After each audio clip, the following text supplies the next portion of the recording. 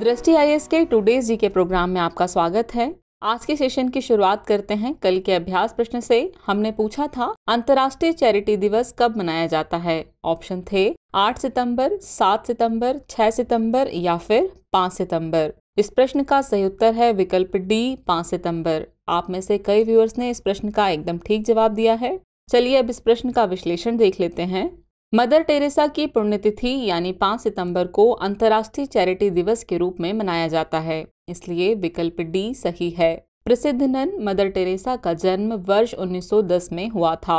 1928 में भारत आने के बाद उन्होंने अपना जीवन बेसहारा लोगों की मदद करने में समर्पित कर दिया।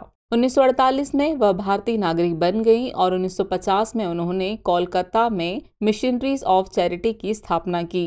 उन्हें उन्नीस में गरीबी और संकट को दूर करने के लिए किए गए कार्यों के लिए नोबल शांति पुरस्कार से नवाजा गया।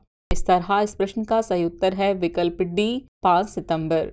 चलिए अब शुरुआत करते हैं आज के पहले प्रश्न की। प्रश्न है, डीप डाइव ट्रेनिंग प्रोग्राम किससे संबंधित है? अंतरिक्ष, सैन्य अभ्यास, समुद्री जीवन या फिर साइबर सुरक्षा? इस प्रश्न का सही उत्तर है विकल्प डी, साइबर सुरक्षा। साइबर अपराधों से निपटने के लिए मुख्य सूचना सुरक्षा अधिकारियों यानी सीआईएसओएस और अग्रिम पंक्ति के आईटी अधिकारियों की क्षमताओं का निर्माण करने के लिए साइबर सुरक्षित भारत पहल की संकल्पना की गई है। हाल ही में राष्ट्रीय ई गवर्नेंस डिवीज़न ने अपनी क्षमता निर्माण योजना के तहत तीसवे सीआईएसओ डीप डाइव ट्रेनिंग कार्यक्रम आयोजित किया। यह कार्यक्रम भारतीय लोक प्रशासन संस्थान यानी आईआईपीए नई दिल्ली में आयोजित किया गया था।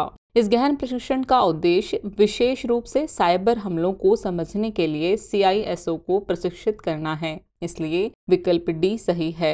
इस तरह इस प्रश्न का सही उत्तर है विकल्प डी साइबर सुरक्षा। चलिए अगला प्रश्न देखते हैं। भारत की पहली नाइट स्काई सेंचुरी किस राज्य या फिर केंद्र शासित प्रदेश में स्थापित की जाएगी? आपके ऑप्शन है सिक्किम, अरुणाचल प्रदेश, केरल या फिर लद्दाख। इस प्रश्न का सही उत्तर है विकल्प डी लद्दाख। विज्ञान और प्रौद्योगिकी विभाग यानी डीएसटी ने लद्दाख में भारत की पहली नाइट स्काई सेंचुरी स्थापित करने का निर्णय लिया है। इसलिए विकल्प टी सही है। प्रस्तावित डाई स्काई रिज़र्व लद्दाख के हनले में चांगथांग वन्यजीव अभ्यारण्य का हिस्सा होगी। यह भारत में एस्ट्रो पर्यटन को बढ़ावा देगी। यह ऑप्टिकल इंफ्रारेड और गामा रे टेलीस्कोप के लिए दुनिया के सबसे ऊँचे स्थानों में से एक होगी। इस तरह इस प्रश्न का सही उत्तर है विकल्प डी, लद्दाख।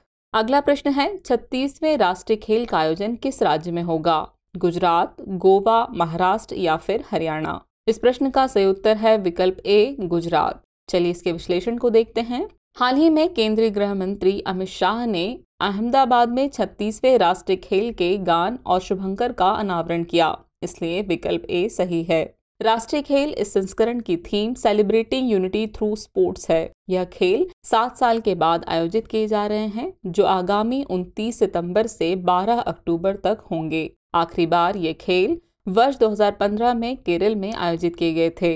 इसके शुभंकर को सावज नाम दिया गया है। यह गुजराती शब्द है, जिसका अर्थ शेर होता है। यह भारत की सांस्कृतिक विरासत का प्रतिनिधित्व करता है। इस तरह इस प्रश्न का सही उत्तर है विकल्प ए, गुजरात। अगला प्रश्न है गेस्टिक 2022 कहाँ आयोजित किया जा रहा है? नई दिल्ली, बोस्टन, मैड्रिड या फिर मिलान? इस प्रश्न का सही उत्तर है, विकल्प डी, मिलान।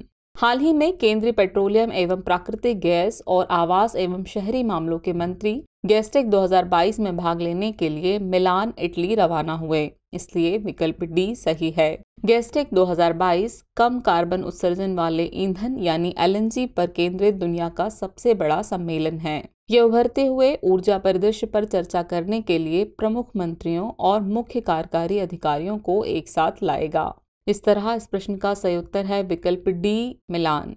अगला प्रश्न है, इन्फ्लेटेबल एरोडायनेमिक डिसेलेरेटर आईएडी किसने विकसित किया है? डीआरडीओ, इसरो, भारतीय वायुसेना या फिर भारतीय सेना? इस प्रश्न का सही उत्तर है विकल्प बी, इसरो।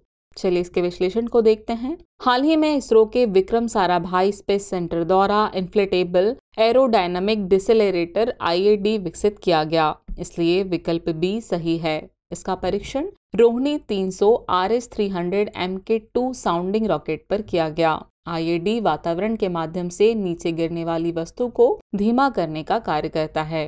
इस नई तकनीक से इसरो को मंगल ग्रह पर पैलोड उतारने में भी मदद मिलेगी। इस तरह इस प्रश्न का सही उत्तर है विकल्प बी, इसरो।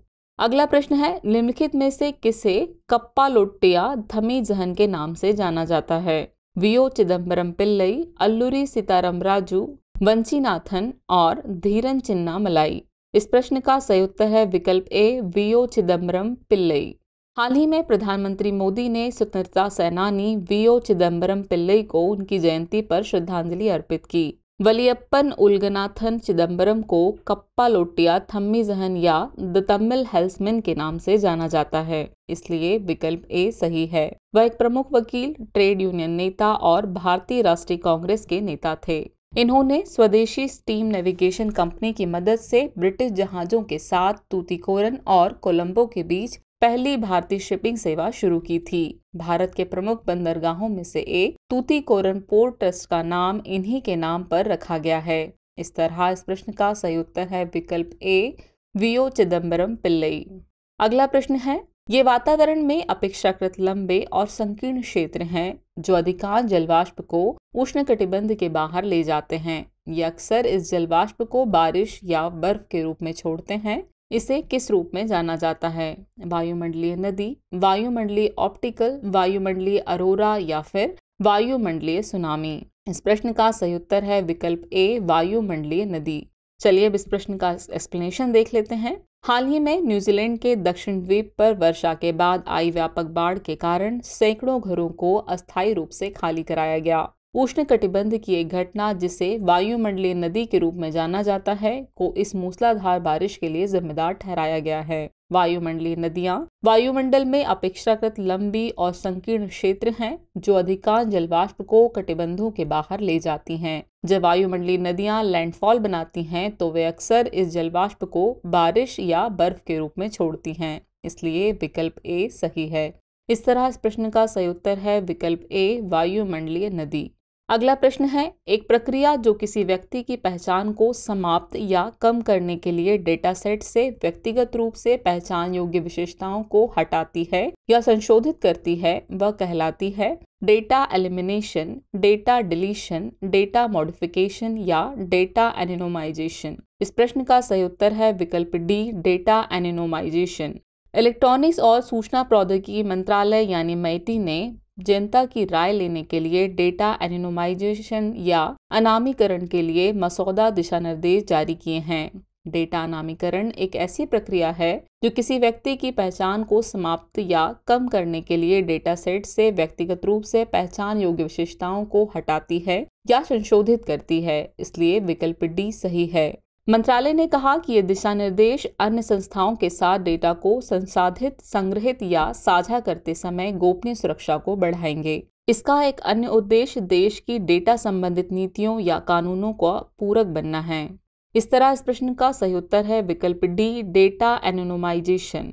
अगला प्रश्न है, मशरू और हिमरू शिल्प किस राज्य से संबंधित है? उत्तराखंड, उत्तर प्रदेश, ओडिशा या फिर महाराष्ट्र? इस प्रश्न का सही उत्तर है विकल्प डी, महाराष्ट्र। औरंगाबाद, महाराष्ट्र के उन शहरों में से एक है जो उत्कृष्ट हस्तशिल्प के लिए जाने जाते हैं। इस शहर के सबसे प्रसिद्ध शिल्पों में बिदरी वेयर, मशरू और हिमरू आदि शामिल हैं, इसलिए विकल्प डी सही है। मशरू और हिमरू दोनों ही ऐसे कपड़े हैं जो कपास एवं रेशम से बने होते हैं। हिमरू को कुम ख्वाब के नाम से जाना जाता है। ये बहुत ही शानदार कपड़ा है, जिसके साथ शाही अतीत भी जुड़ा हुआ है। इसका उपयोग मूल रूप से शॉल और साड़ी बनाने के लिए किया जाता है। इस तरह इस प्रश्न का सही उत्तर है विकल्प डी, महाराष्ट्र। अगला प्रश्न है, हाल ही में चर्चित शब्द पुण्यमदा क्या है? लोक नृत्य, लोक कला, साहित्य या फिर झील? इस प्रश्न का सही उत्तर है विकल्प डी, झील। चलिए इसके विश्लेषण को देखते हैं। हाल ही में नेहरू ट्रॉफी बोट रेस का अड़सठवां संस्करण केरल में आयोजित किया गया। Nehru trophy boat race Kerala में प्रमुख स्नेक बोट रेस में से एक है। पुन्नमदा झील नौका दौड़ के लिए वह स्थान है जहाँ प्रतियोगी नावों के साथ खड़े होते हैं, इसलिए विकल्प डी सही है। इस रेस के दौरान औपचारिक जल जुलूस और सुंदर झांकियों के साथ यह क्षेत्र जीवंत हो जाता है। इसमें विशाल चंदन वॉल्यूम यानी स्नैक बोर्ड से लेकर छोटे देशी राफ्ट तक अपनी क्षमता का प्रदर्शन करते हैं। इस तरह इस प्रश्न का सही उत्तर है विकल्प डी झील। चलिए वक्त हो चला है अभ्यास प्रश्न का। प्रश्न है, मारतंड सूर्य मंदिर किस राज्य या फिर केंद्र शासित प्रदेश में अवस्थित है? आपके ऑप्शन है, गुजरात, राजस्थान, ओडिशा या फिर जम्मू कश्मीर। तो व्यूअर्स, इस प्रश्न का जवाब कमेंट बॉक्स में देना न भूलें। जल्दी मिलते हैं नए एपिसोड के साथ, तब तक के लिए शुक्रिया।